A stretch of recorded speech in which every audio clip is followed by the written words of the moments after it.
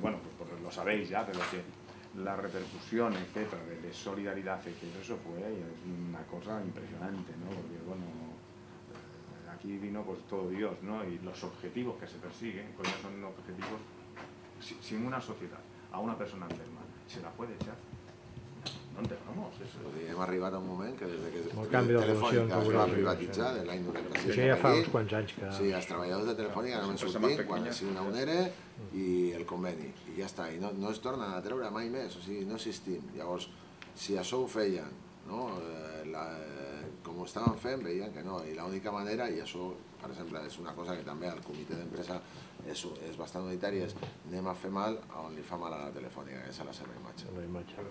La idea sería hacer una pequeña resolución en donde mm, les pudiéramos decir también a todos los partidos de izquierda que la apoyaran, que a nosotros ¿no?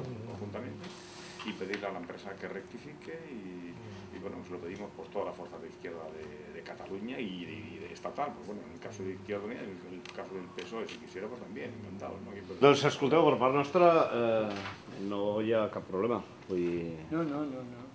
Sí, yo lo único que no me parece bien es que se estén machacando. No, Ya, pero- lo, lo diré delante de todo que Pero nosotros ya decimos también desde La de mi madre no nos gustaría hacerlo.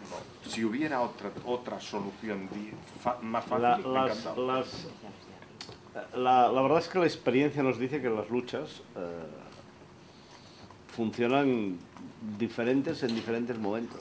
Claro, Es decir, esto, es- es- esa es la realidad.